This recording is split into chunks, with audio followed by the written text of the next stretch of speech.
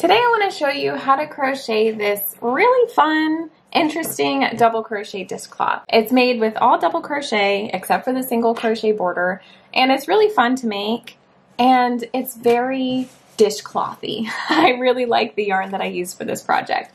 So what I used was two skeins of Paintbox Yarns Recycled Cotton Worsted.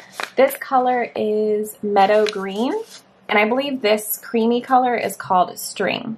I've made a couple of these for my kitchen using different colors, so I will post pictures of those here as well. Dishcloths are great for your kitchen because, like, who wants to go keep buying paper towels.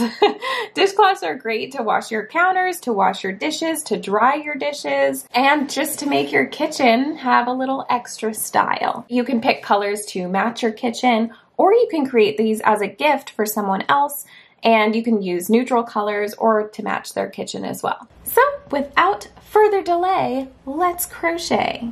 As I said previously, you will need two skeins of Paintbox Yarns Recycled Cotton Worsted or you can use one skein if you just want to use one color and no stripes. Um, if you don't have this yarn on hand or you just want to use a different yarn, you can use any 100% cotton yarn uh, because cotton is the best yarn to use for kitchen items. I also want to mention that this yarn has 169 yards. So if you were to use one color, make sure that it has at least 169 yards because if you were to make this whole dishcloth using one color, you might only have a little bit left. So if you want to use one color, that's what I would do. Something with at least 169 yards. You will also need a 4.5 millimeter crochet hook. And of course, a tapestry needle to weave in your ends and a pair of scissors. Now to get started, with your main color, you're going to create a slip knot. You can do this however you like. This is my preferred way insert your hook, and then you're going to chain 47. So yarn over, pull through. That's one, two, three,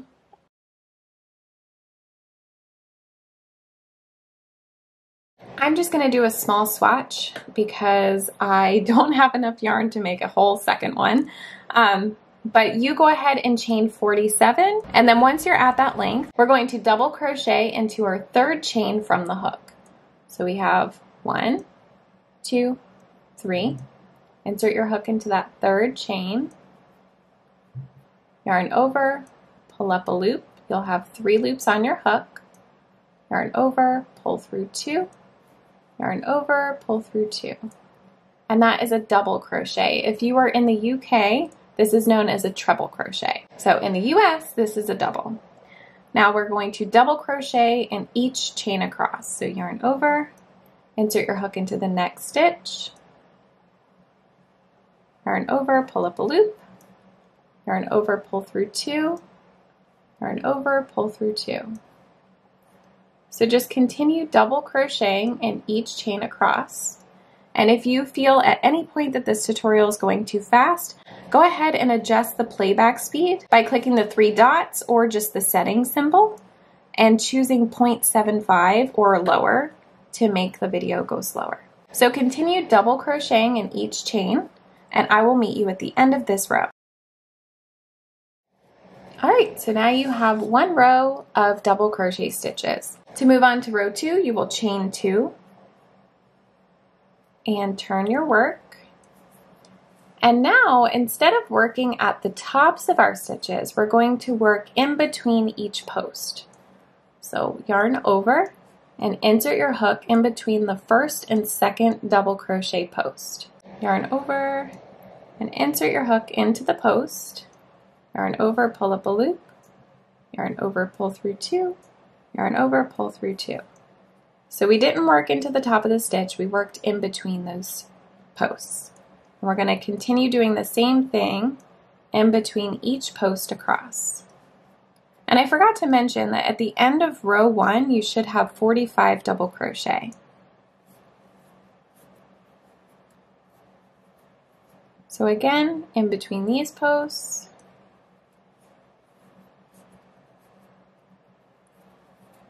and this is what it starts to look like. So go ahead and repeat the same process all the way down the row, just double crocheting in between those posts.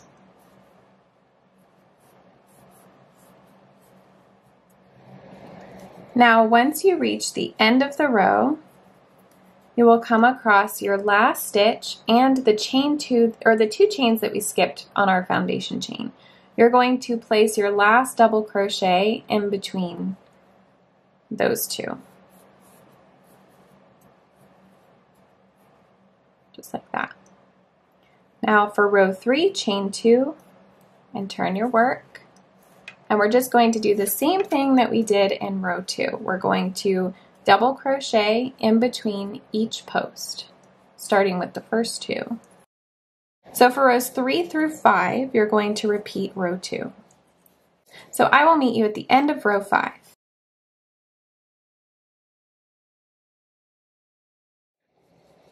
And remember that at the end of each row, you'll want to double crochet in between the last double crochet and the chain two of that row.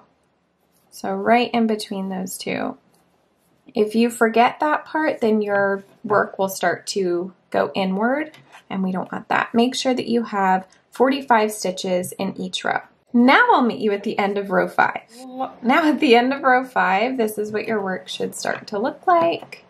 So we have row one, row two, row three, row four, and row five. Now we're going to add on our accent color. Now you can add yarn, a new color of yarn, any way that you prefer. For this pattern, I like to tie off my yarn. I just go ahead and cut it and knot it. And then just add on a new color by creating a slip knot and pulling it through. That way I know for sure that my ends are secure, but of course do it however you like it. Um, so after you chain two, you'll turn your work and we're just gonna keep repeating the same process. So double crochet in between those posts and in between each post across. And so we're going to use this accent color for two rows. So I will meet you at the end of row, oh, I will meet you at the end of row seven.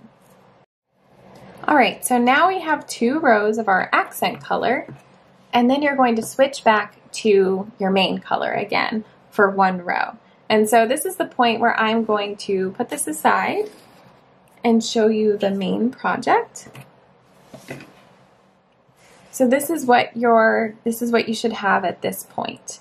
Um, so you're going to have five rows of your main color, then two rows of your accent color, one row main, two rows accent, one row main, four rows accent, one row, two, one, two, and then finish with five more rows of your main color. Then after that, we're going to create the border. So I'll go ahead and rip back this border really quick so I can show you how to do that.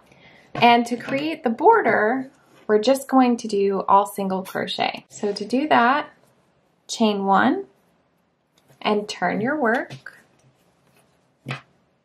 And we're just going to single crochet across this row, but again, we're going to work in between the posts.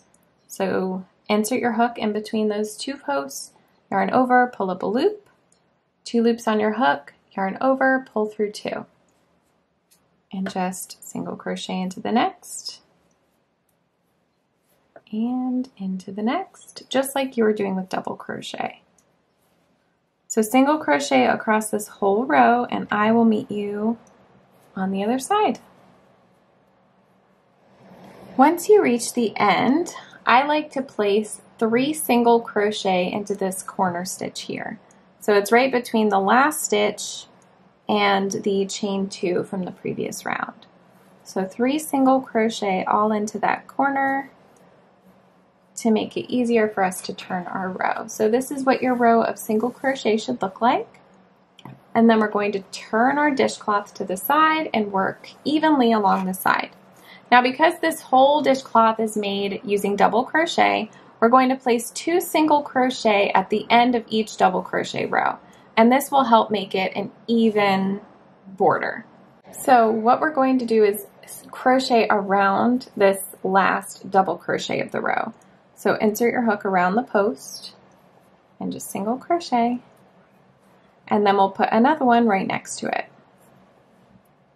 So now we have two single crochet at the end of that row. And now here's the next row.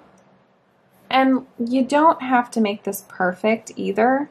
Just as long as you have the same amount of stitches on each side, like each, like this side and this side, then it won't look too crazy. And if it does, just pull your stitches back and try again. It, it really doesn't have to be perfect, but my general rule is two single crochet at the end of each double crochet row. So that's what I try to stick to. See, we have two, two, two, two. We've done four rows of double crochet. You also might find it a whole lot easier to weave in these ends before you start the border because I found it a pain in the butt and they just kept getting in my way. So definitely weave these ends in first and then create your border if you want to make it a li little bit easier on yourself. So now I've reached the corner stitch again. So I'm just going to do the same thing I did before. I'm going to place two single crochet around this last double crochet. And then I'm going to turn my work a little bit and put a third one in there. That way you have three single crochet in that corner. Now we'll turn all the way and now we're facing the foundation row. Uh, so we're working on the opposite side of our foundation row.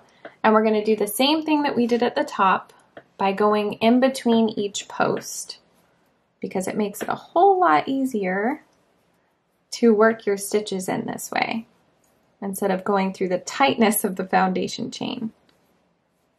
So repeat the same process, just single crocheting in between each post and I will meet you at the third corner. Now once you reach this corner again, we're just going to place three single crochet around that chain two, just like we did before.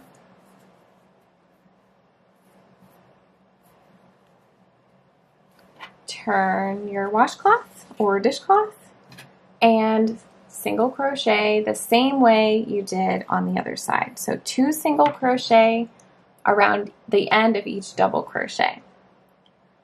And remember that this side should match the same amount that you did on this side, just so that it looks nice and even and it's not all scrunched together or, you know, uneven. so I'll meet you at the end. Once you reach the end, you only need to put two single crochet around this last double crochet because you already have a single crochet at the top. So go ahead and put two there, then slip stitch to your first single crochet by inserting your hook, yarn over, pull that through and through the loop on your hook. Then go ahead and cut your yarn, leaving a couple inches to weave.